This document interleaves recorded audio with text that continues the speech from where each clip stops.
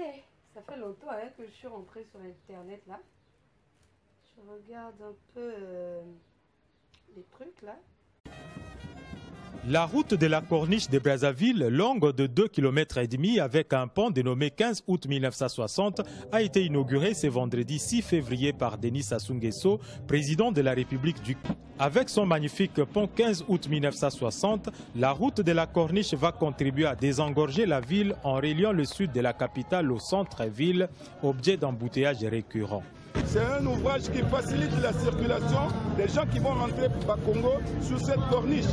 Au lieu d'aller par le centre culturel, français, ils prendront la corniche et facilement il y aura moins d'embouteillage. Vous voyez, vraiment c'est un grand ouvrage pour ceux qui sont avec nous actuellement là. On a gagné un beau pari. Facebook aussi, euh, je ne rentre pas trop. Quand même.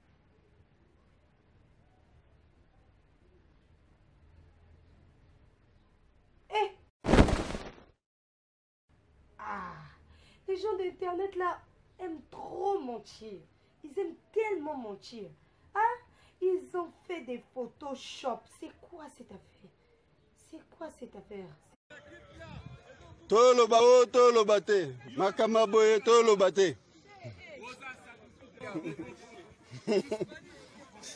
waouh quel les grands travaux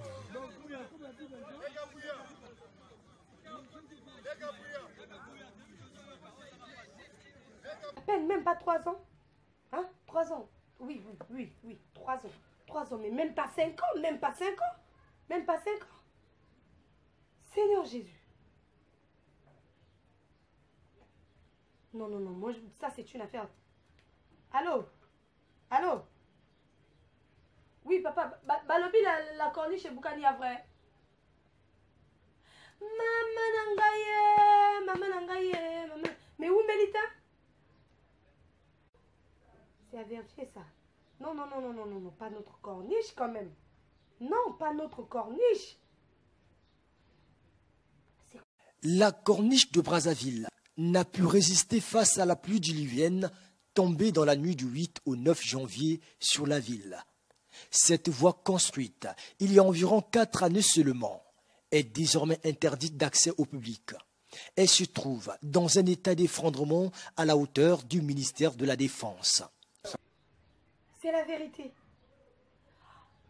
Wow, maman, eh, biloko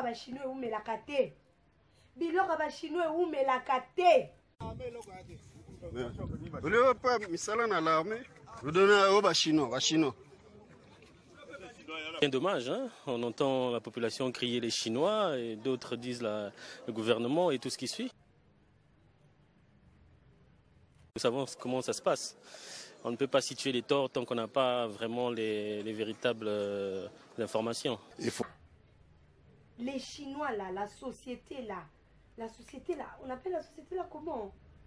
Nini Comment peut moulaya wana kokapete qui bidi bidi bidi nini nini qui cooperation ba en anglais. Vous dites quoi? On, va d'abord protéger le site par euh, une mur de euh, pour protéger le site, pour éviter il y a encore des blessures ou euh, un endommagement, endommager les gens.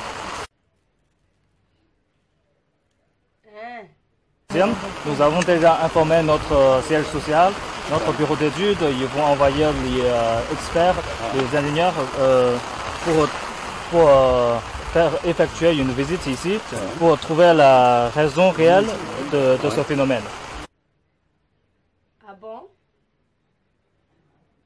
Troisième, on va procéder à travailler ici pour, euh, pour protéger contre la pluie, euh, pour éviter encore des dégâts et encore, euh, une fois on trouve la raison réelle de, ce phénomène.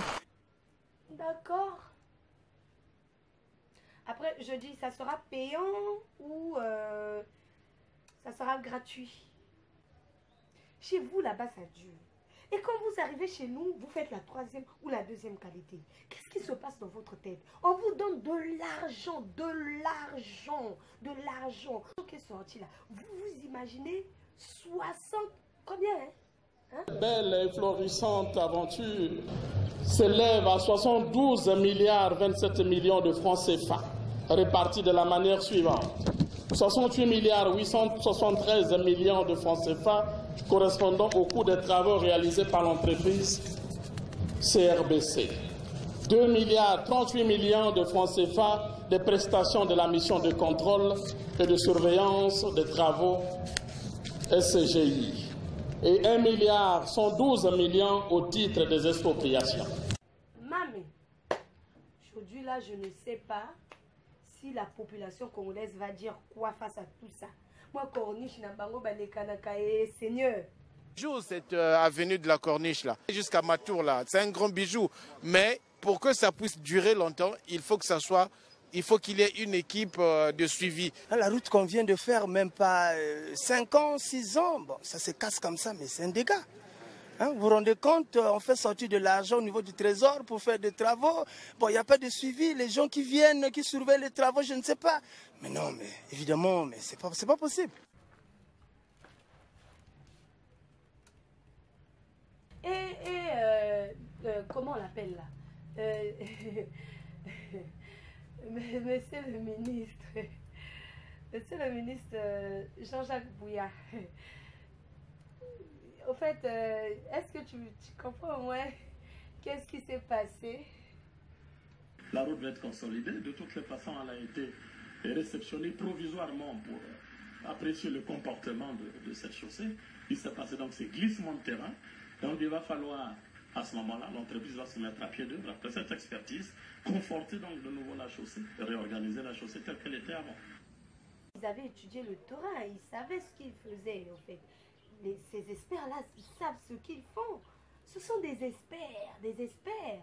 Ils savaient ce qu'ils faisaient. Au fait, ils ont étudié le terrain, ils savaient toujours que à la longue, il y aura la montée des eaux. Oui, oui, oui. C'est- pas, ça, euh, monsieur le ministre.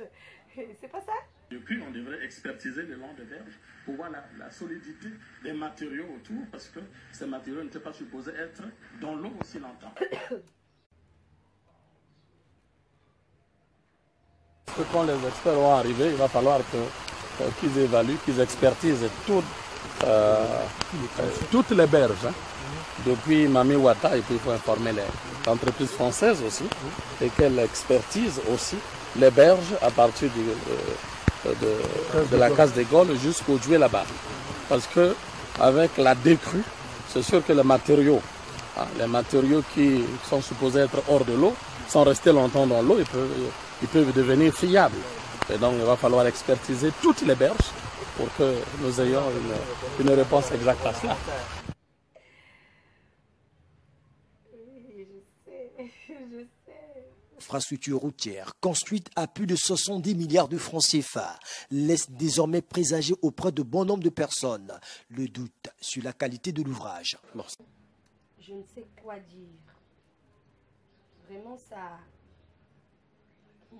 Ça. Aucune idée, ça dépasse. Monsieur le vice-maire euh, Guy Okana, qu'est-ce que.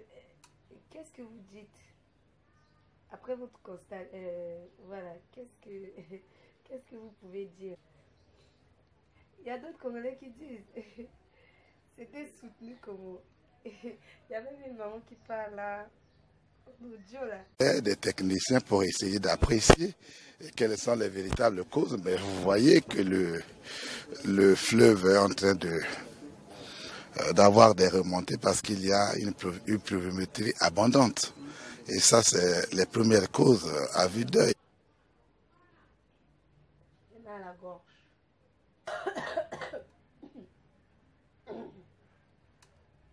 A encore une chose, j'aimerais demander. Et puis, euh, qu'est-ce que mère pense de ça? Pour le doute des Congolais, parce que il y a quand même les, les- les gens comme nous là, on va souvent là-bas avec nos enfants. Donc, vous voyez, arriver là-bas avec les enfants, est-ce que c'est sécurisant? Parce que là, là, ça commence à. Les dispositions sont en train d'être prises. Euh, les Brazzavillois vont pouvoir être dans un, petit moment euh, euh, interdit d'accès à cet ouvrage pour des mesures conservatoires.